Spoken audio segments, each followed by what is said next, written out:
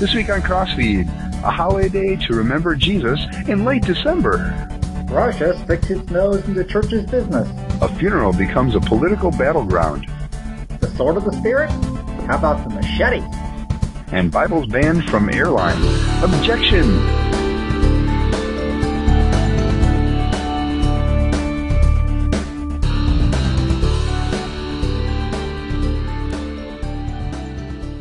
It is uh, good to have everybody back, and uh, in the year 2007, this is CrossfeedNews.com.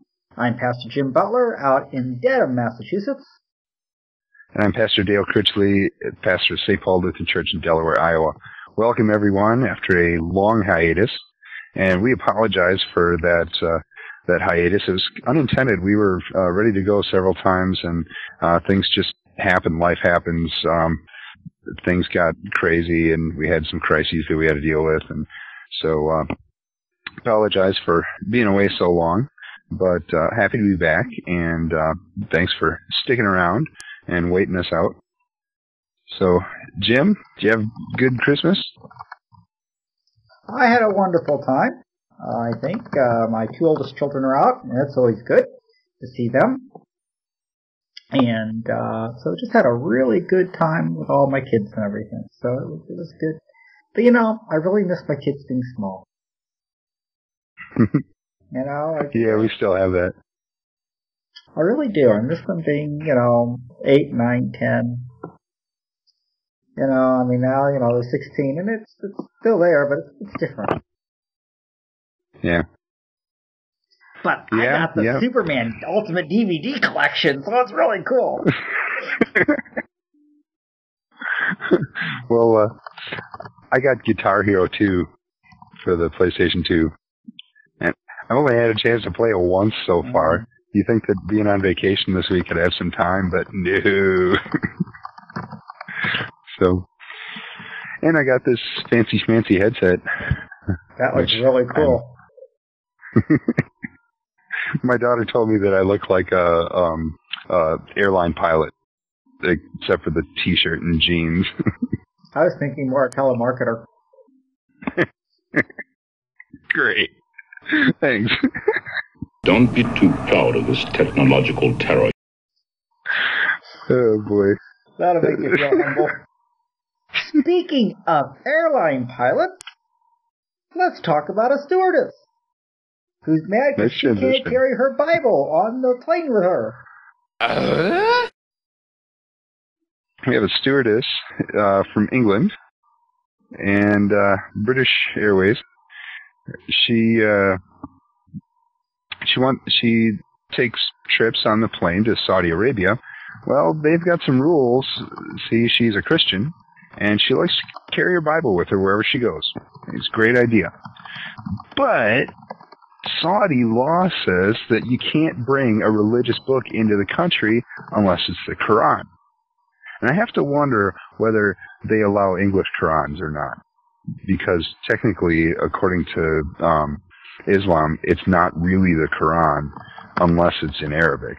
So, anyway. Um, yeah, they're not allowed to bring in narcotics, alcohol, pork products, and religious books apart from the Quran.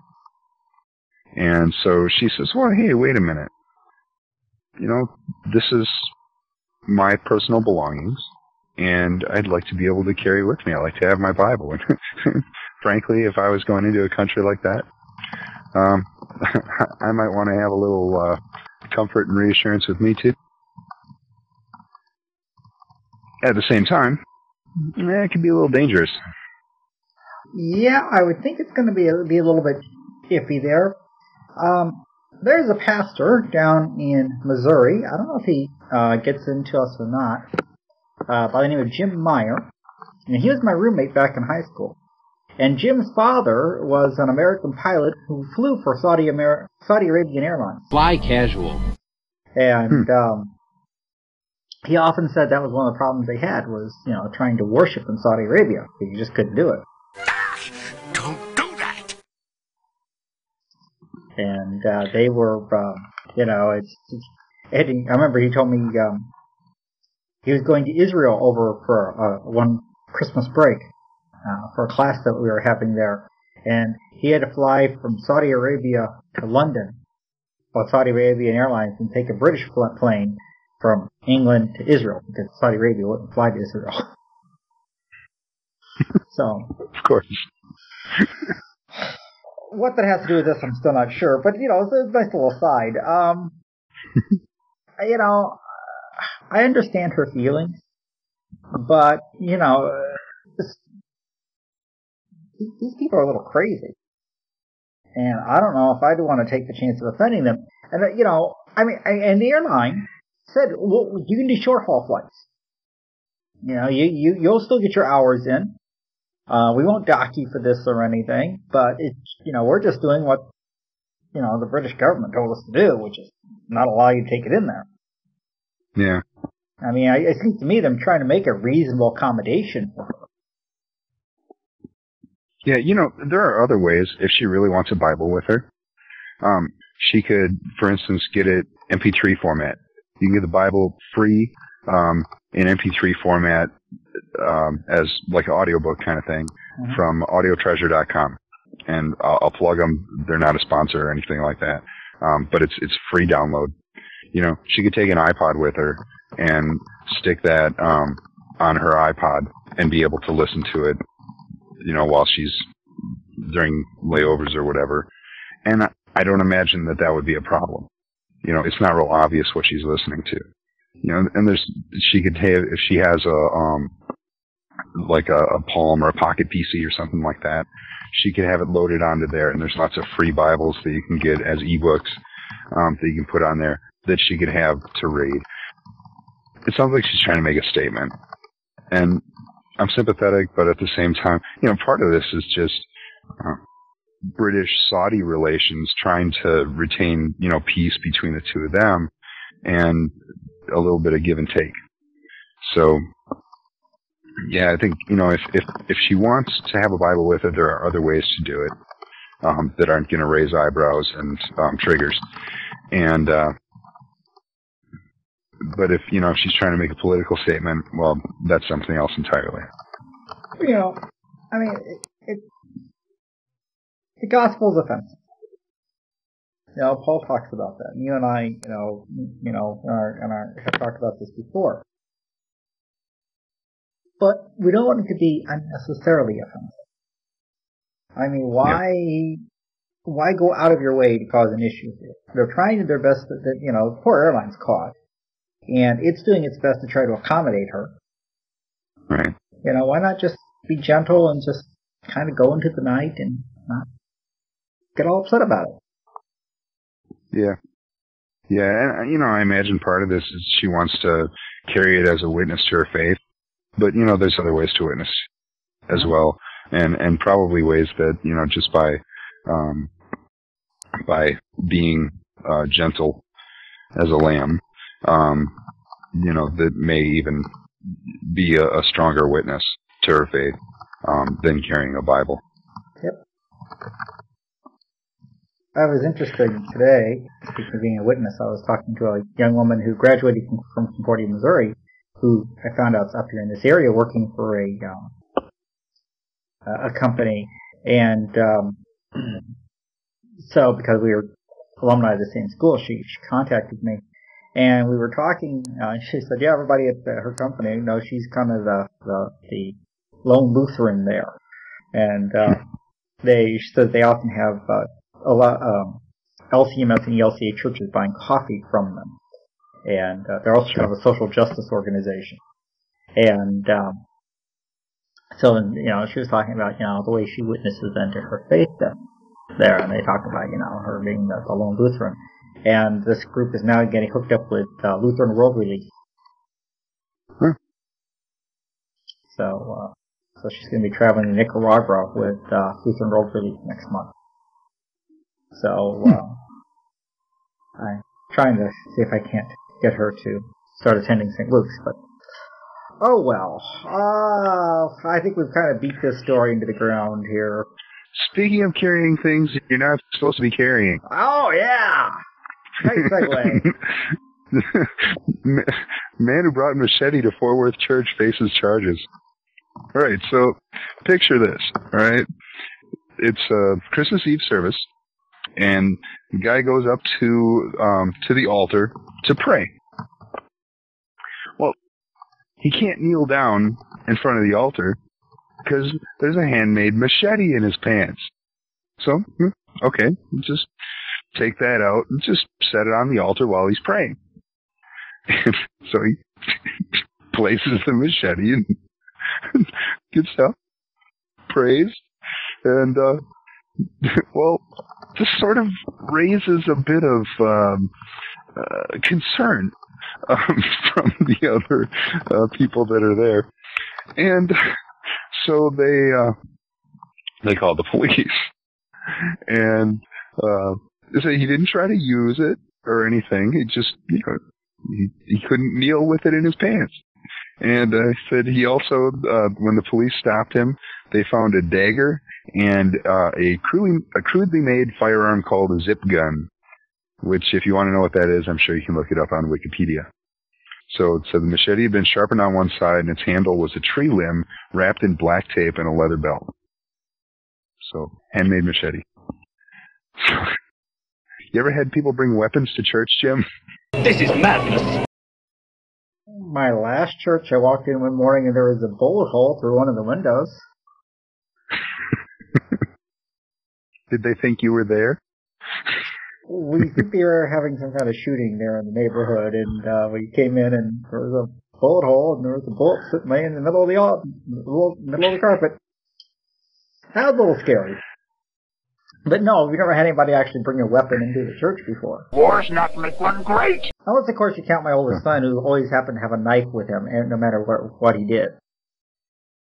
Well, I'm assuming he doesn't carry it as a weapon, though, more as a utility sort of thing. Uh, no, uh, he, you ever get caught at school when those things in your pocket they consider it a weapon, so. Yeah. Well, just about anything is nowadays. That's true, but man, what a scare! That, that I mean, that, that, that, I don't know what I would do. This guy all of a sudden brings a 15 inch machete knife out of his pocket. Um, You're crazy.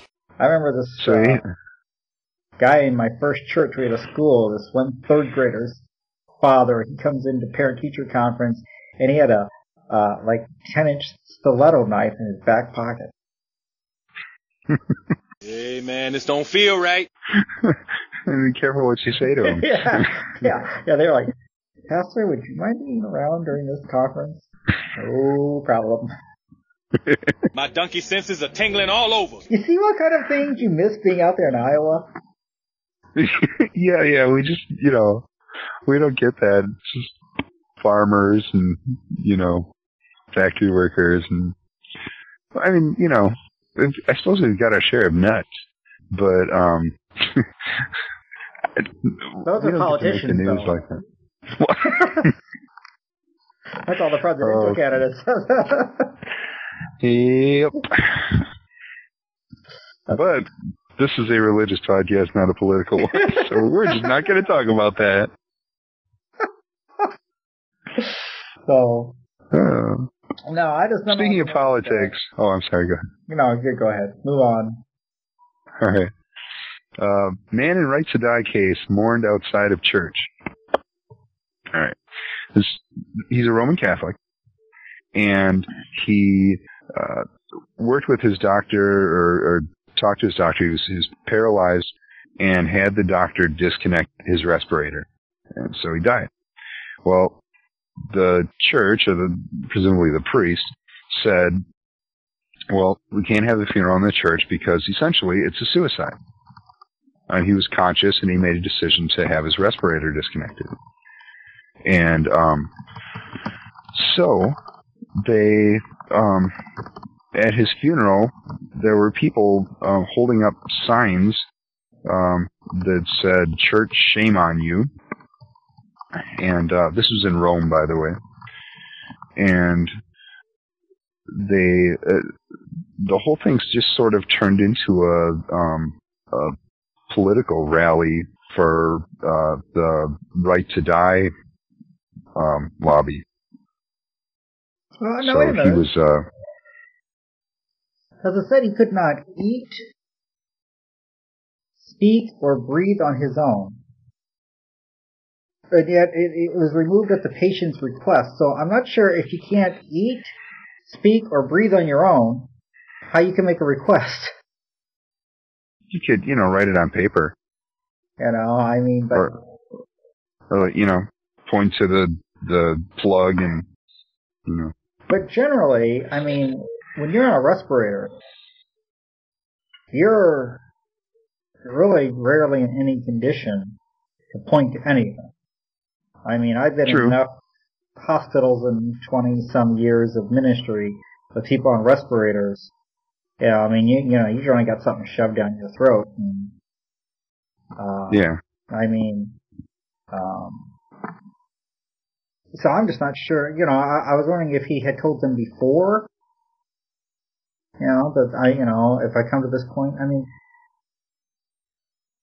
because I, I kind of came on the opposite side of the of, of, of the church in this case. I, I was kind of on the side of the protesters. I mean, if you you can't eat on your own, you can't speak on your own, you can't breathe on your own. Then at what point then is is is the is the living being artificial? I mean, if I was with a family and this guy can't eat, speak, or breathe on his own, and they said, you know, we would like to allow him to die, I probably would say I think that's a good decision. Yeah, you know, maybe we need to know more about it. Um, it said uh, the church said Friday decided to deny a religious funeral for him because his will to end his life was known, as it had been repeated and publicly affirmed, in contrast to Catholic doctrine. So it really sounds, and I mean, this is from the Chicago Tribune, so we're not talking about a Catholic news service that's going to be, you know, supporting one side of it. It sounds like he, in some way, expressed a desire to um, to have it removed. Yeah. Now, the thing is, it, you know, that said, when people are in that, I mean, it sounded like he was in a very difficult position. And while, you know, on the one hand, yeah, it's wrong to to end human life if, assuming he was still, you know, conscious and and that. Um, but at the same time, by refusing him a religious funeral, you know, what kind of message is the church sending? And basically, to me, when I look at this, it sounds like the church is saying he committed an unforgivable sin. You know, in essence, they're saying he's in hell. Right. And, and I wouldn't go there. I mean, you know, boy, people do all kinds of things that they might not do under, you know, ideal circumstances when they're in extreme pain and, you know, and just can't take it anymore. I mean, there have been times in my life where I have been in such an extreme state of suffering, um, just because of like a, a drug reaction, uh, a drug allergy that made me so incredibly uncomfortable that I wanted to die. And I, you know, given the opportunity, I, you know, I, don't know what I would have done, but I mean, they, they got me taken care of and I was fine. But, you know, boy, if you're in a situation like that, where you're just in some kind of extreme discomfort, you know, yeah, it's wrong to end that life. And yet at the same time, I can understand that decision. Okay, yeah, the decision's a sinful decision. Does that make it unforgivable? No, absolutely not. The, un- the only unforgivable sin is rejecting Christ. But even there, it may not even be necessarily sinful. You know, I mean, I'll never forget coming out of a, a, a nursing home one time and uh, meeting this woman, and she comes up and she says, "Father," because of course we're up here and I had a collar on, and she says, "Is it okay if I pray for my husband to die?" I said, "Well, why?" And she's telling me that he had been a, a composer and a conductor of an orchestra and choral conductor, and had Alzheimer's, and all of it was gone, just the whole thing. And I looked at her and I said, "Well, do you, are you praying for him to die because he's a burden to you and you have to come down here and visit him and you're tired? said, or do you want him to be up, you know, conducting the choirs of heaven? She goes, I want him to conduct the angels in singing. I want him to be freed of the pain that he's in now. I said, in that case, let's pray that the Lord would take him. I mean, you know, for the Christian, you know, death is not the end. For us, it's the transportation to something really beautiful. And so if this guy said, you know, this guy might have been saying, I want to die. I want to get to heaven already. I'm tired of the suffering of this world. Right. You know, I mean, otherwise, what do we do with Bach's beautiful cantata? Cum tot. Come, soothing death. Come, blessed repose. Come, close my eyelids gently. I'm tired of this world and weary. Come, soothing death. Come, blessed repose. I mean, that's a statement of faith. Yeah. Oh, absolutely. I had a um, there's a guy at my church. This uh, uh, a few months ago. Um, they just really just been through the ringer, um, heart problems and all kinds of things, and um, and and he he he says to me, "Yeah, it's horrible to get old." And and I just sort of jokingly said, "Well, beats the alternative." And uh, and he looked me straight in the eye and he said, "No, it doesn't." I had a few of them tell me that too. Pastor, don't pay to get old. But you know, you know, he was saying, "No, I'd I'd rather be in heaven right now." Yep. Thank you very much. I, So, I remember couldn't argue with too. I've I've had more than a few of them. So yeah, I, tough call, but for the church to sort of hand down judgment like that, I don't know, it, it just to me it seems like a missed opportunity to say, you know, instead of saying no, he can't have um, a funeral here. Imagine being able to, to do that funeral and to say, look at the grace of God.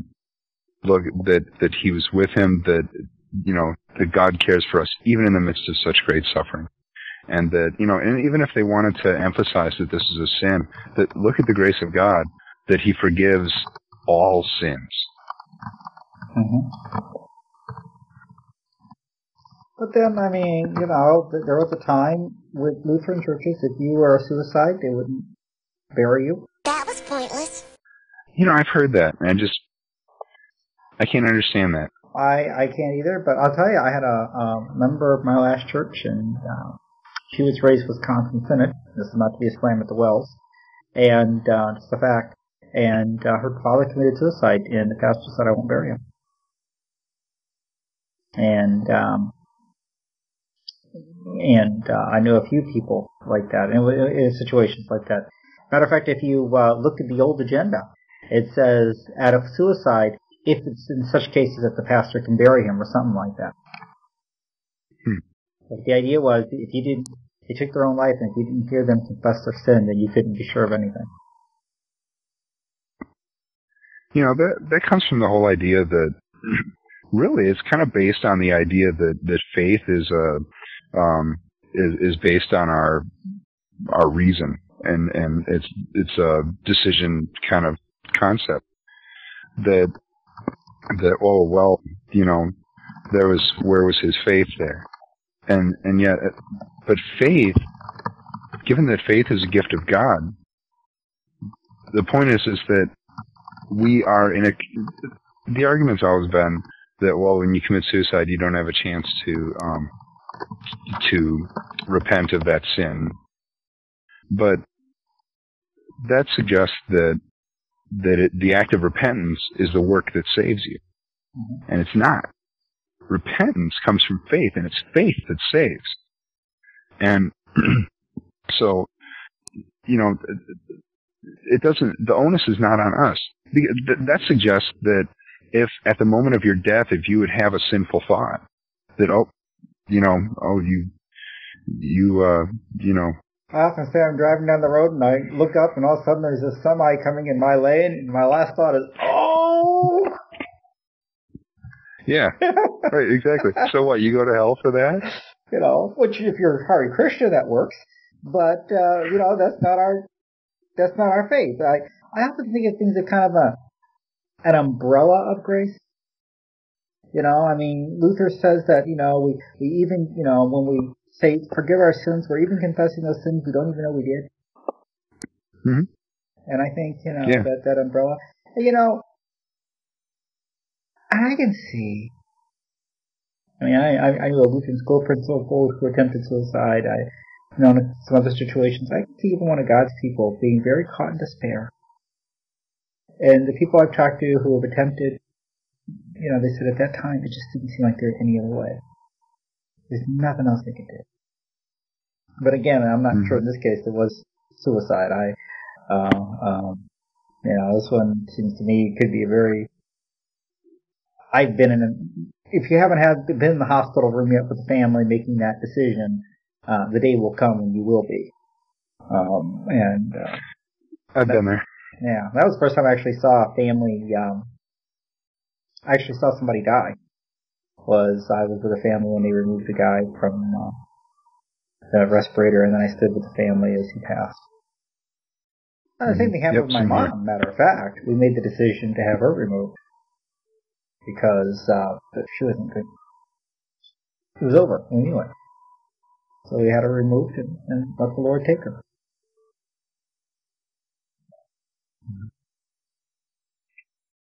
Well, speaking of churches, rocks, and hard places, um, in Russia, it's uh, the church's status and uh, situation is sort of tenuous. Don't really know what's going on. Now, this is a follow-up to a previous story, um, which unfortunately can't be accessed anymore unless you're a subscriber to the Russian Post or something like that. But um, but we have the follow-up story at USA Today, and basically we have the the Russian government wants to stick their nose into churches and wants to require churches to give weekly information on how many members they have, how many people are, are visiting that week, the which people are um, were there that week, how much money they got from whom, um, you know, just really detailed information, kind of information that most churches don't even have that detail of information. You know, for instance, they want to know how much money was from uh, local and how much money was from tourists from outside the country. Well, when people throw coins into the offering plate, you don't know where them. I mean, unless it's American money or something, or you know, from some other country, you don't know where that money came from or who that money came from. You know, and to what are you going to do? Say, sorry, um, we're not going to accept offerings unless it's in an envelope with your name and um, place of origin on it. Mm-hmm. It's uh you know a lot of people are really afraid that this is it's getting back to that sort of big brother um you know the way it was in the soviet union where um you had to report all this stuff to the government. And now the russian government is saying well um you know this was the intention here was not so much um churches it's more sort of nonprofit organizations that receive support from um from outside the country and, um, but, you know, where do you draw the line? They're saying that, well, okay, if we're going to do this for nonprofit organizations, that includes churches. And if we're not going to include churches, then we're being inconsistent. And, and then we're just picking on the secular nonprofit organizations. So, what are we going to do? So they're trying to tell the churches, oh, well, you don't have to worry about it. But at the same time, the churches are saying, well, you know, what are you going to do here? Right. Right. I, I'd be worried enough if, if this was in America. Um, know, I'd be really, I'm not too sure about this stuff. But, um,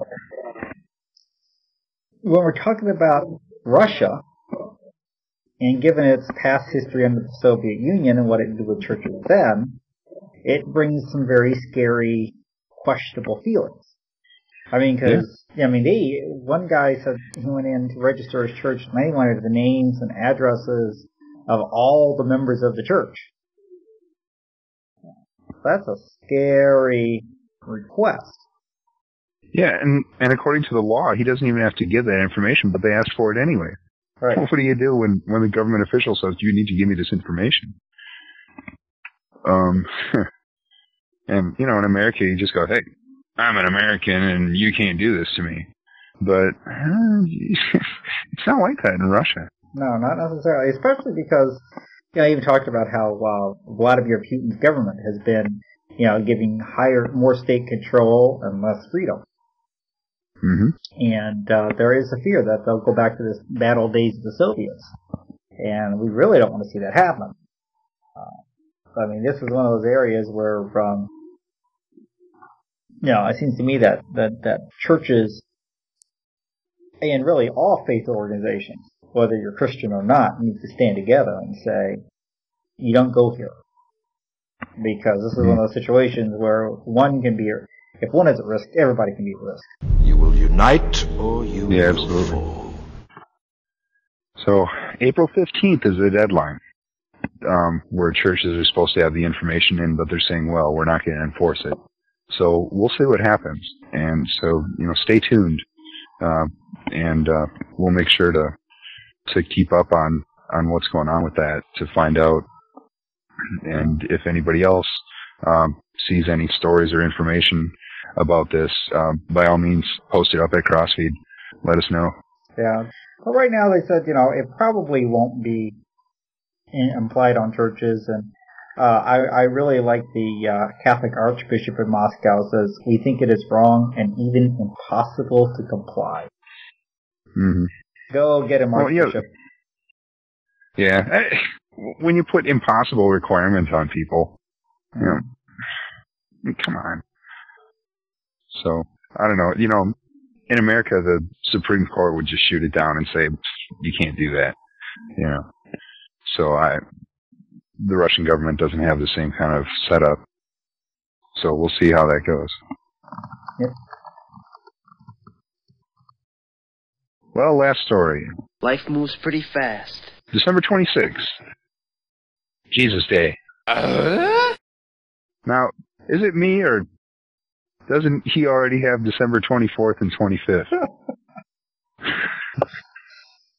Well, you know, we have the, you know, the three festival of three days there at um, Easter, you know, Monday, Thursday, Good Friday, Holy Saturday. Well, maybe the Nigerian Christians want to do the same thing here at Christmas too.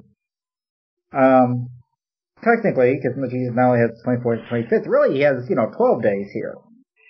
And today, of course, is the 11th day of Christmas. But, uh, yeah, it's, uh, that uh, December 26th, uh, often called for the Canadians and British out there Boxing Day. Uh, now and there is to be called um, Jesus Day. And, uh, and they held a rally uh, there in Nigeria. Was organized by World Rescue Missions in- Ministries International. And um, the people all stood out there and said, you know, cry Jesus, Jesus, Jesus. Um, uh, Nigeria Seven is our Jerusalem. Lagos is our Jerusalem. Let peace reign in Nigeria. Let the purpose of God for Nigeria prevail over any plan of man against our nation. And they shouted out, yeah, Jesus, Jesus, Jesus, Jesus, seven times. Expecto Patronum! Oh, now they also want to do the same thing at Easter. Yeah. Whatever happened to He is risen, He is risen indeed. I like that one better. yeah, I mean, you know, I guess I, I looked at this and I thought, well, okay, you know, Christmas being somewhat lost, um, as far as, uh, you know, sort of losing sight of what Christmas is all about and the whole keep Christ in Christmas and all that. And, you know, this, I looked at this and said, okay, well, all right, we lost Christmas. We need a new day. but at the same time, you know, we had a full church on Christmas Eve. So, which you know, we had a whole lot more people there than we have on a Sunday. So, um, you know, people are still remembering that Christmas is all about Jesus. And, well, around here anyway. Um, you know, we've had other stories about people that, uh, in other countries and that where the, the surveys say that, you know, people think it's Santa Claus's birthday and all kinds of stuff like that. But, yeah, they, this, I looked at this and it, it sounds like they're thinking, the, the gist that I got from it is, you know, if we put up billboards that say Jesus on them all over the place and, and have everybody talking, you know, put his name on your, the back of your car with your fish emblem and, and, uh, and all this kind of stuff, you know, then the world will be a much better place. We'll have peace and, you know, and, and not have all the problems that we have today. And I'm thinking, well, that's a real nice theology of glory there and, um, completely unrealistic. You know, if anything, if you, you know, it's, it's kind of like you said, Jim, you know, what happened to he's risen, he's risen indeed.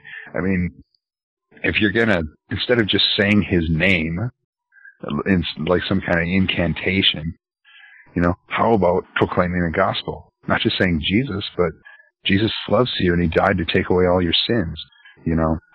Um, just saying his name over and over, unless somebody knows um, the Hebrew origins of the name, it's not going to do a whole lot of good.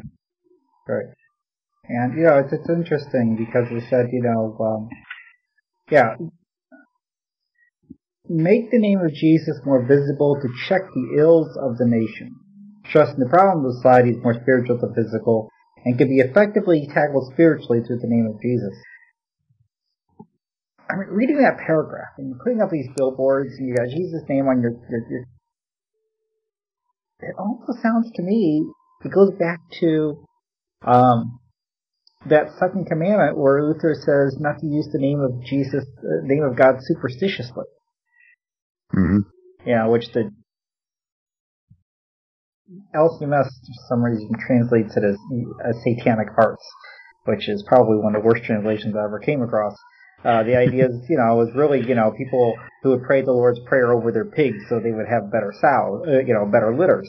You know, it was this idea of using this stuff as, as, as a magic charm. And this kind of strikes me as the same way. You know, if you put the name of Jesus out there, it's going to, you know, heal just by the very nature of, just because the name is there.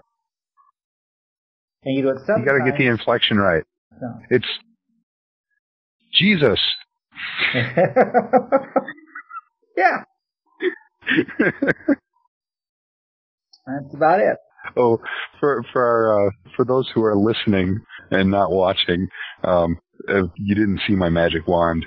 So, Right. You know, it, it strikes me as almost the same thing, though. You know that you know this we're using this almost as a magic charm Diagon Alley! because yeah, you know just chanting the name Jesus apart from really the gospel. The one chooses the wizard. Well, and that's the other thing I noticed about this is that the gospel was pretty much completely lacking here. It's all about we want to make the world a better place. We want to, you know, improve morality and we want to, you know, improve the government and all this kind of stuff. And I, there, there's nothing in here about we want more people to know of Jesus' love so that they can uh, receive faith through hearing the gospel and go to heaven. Mhm. No, nothing about that. So I, maybe that just wasn't mentioned in the news story. I, I hope that that's what the case was. But um, yeah, it's it's all about it's everything that I'm seeing here in this article is it's all about you know if we just get that name out there um, that that's going to improve morality. It's going to make the world a better place. It's you know it's all about the law, Right. And that's not what the gospel's about. right? Even though they're right, even though they're right, it's really not a societal ill, it's a spiritual issue. It's still mm-hmm. not what the whole thing is, is about. Although, I mean, there is such a thing as, you know, works of mercy and human care done in the name of Jesus, and those are very important things to do. So Oh, it's, uh, absolutely. it's that, that can always sometimes be a struggle too. Well, folks, that's about our show for this week. Maybe a little bit shorter, um, but uh, some some odd stories anyway, and hopefully a little bit there to think about in some of the uh, issues of pastoral ministry that pop up here and there as well. So, Dale, if they want to comment, how do they get a hold of us? You can call our voicemail at 206 202 0819, or you can email us at crossfeed at gmail.com. And, or you can just go to crossfeednews.com and post your comments to the specific stories that we've um, discussed here. And uh, by all means, go and, and find other stories and uh, post links to the stories. Or if you have you see something going on, you find out about something going on, and you don't there's no news story on the internet anywhere, then go ahead and uh, click on news story and write your own story. And also want to let people know um, for those who are not aware of it, that you can go to uh, if if you log in and um, set up a free uh, user account if you haven't yet, uh, you can go to your user profile and you can click on auto subscribe. And what that'll do is it will notify you anytime there's new new news stories posted at Crossfeed you will get, um, and I forget, it's it's a couple times a day, I think, uh, or maybe once a day. You'll get an email with the email address that you put in that will list all of the stories, and it'll include the links in the stories and um, how that so that if you, it, but it'll have the the the description that's listed there, and so that you can always know what the stories are. Um, so you don't, I mean, you don't even have to go to the website. Um, but the, it has the links to the stories on the website, and then you can click through that to get to the the original story. Uh, but it'll also have all the blog posts and, and anything else that's that's added, so you can always be on top of what's new. And um, so it's just an easy way to to stay on top of what religious news stories are out there. And so yeah, and, and in fact, uh, I believe now it's set up so that if you create a user account you will automatically be subscribed. Now, if you don't want it, you can just there's a little checkbox there, and you can say no, I don't want to be subscribed to this. But um, but yeah, it's a it's just an easy way to to keep up with the, all the news stories. So and, and it'll also list the comments there too. So pretty much all the new information. Um, want to send out a big thank you to our uh, sponsor, PDAperformance.com. They create some really great uh, Palm software for Palm OS handheld devices. And so I encourage you to stop over their website, check them out if you haven't already. And um, also want to mention, if you haven't been over to the website, to crossfeednews.com, uh, we now have a Crossfeed News store where you can get uh, t-shirts, sweatshirts, um, uh, just all kinds of stuff, mouse pads and and that. Um, it's not a Cafe Press store. Uh, a lot of people use Cafe Press for uh, for these kind of things, um, but Cafe Press, uh, in my experience and people that I've talked to that have used them, um, you you can get the you know nice shirts or whatever, but then you wash them a couple times and the stuff all washes off. Well, we use a different company um, for ours, that uses just a better quality of transfer, uh, a little better quality shirts and that, um, and so they should be a lot more durable. And so you don't have to feel like you're throwing your money away. And um, and the the shirts say they have the Crossfeed logo on them and they say correspondent on them. And the idea is that every one of you, our listeners and viewers and people who visit the website are all correspondents. Um, you know, when you go to another news site, you, the the correspondence of the people that that submit the news stories to those news sites. Well, at Crossfeed, everybody's a correspondent. Everybody submits the news, and so it's you know it's it's a community, and and we all anyone who is submitting news is is part of it is adding um, to the to the whole and uh, so you can uh, get a, a Crossfeed correspondent shirt and wear it with pride. Even you know, go out and I don't know, conduct an interview and send it to us. We'd love that. That'd be cool. So Now, I was Uh, looking but- for the Crossfeed correspondent coffee mug. you know they don't have coffee mugs. This guy is a real zero. It's it's not available as an option. Uh, just- but there's just- coasters. I'm gonna buy a coffee mug with our logo on it, so I could sit here and drink it, and people could see it as we did it. It was going to be a, a I was gonna have it in my as I taught Bible class to be a you know, you know, uh, uh, uh, product placement ad. That's what churches need. More product placement.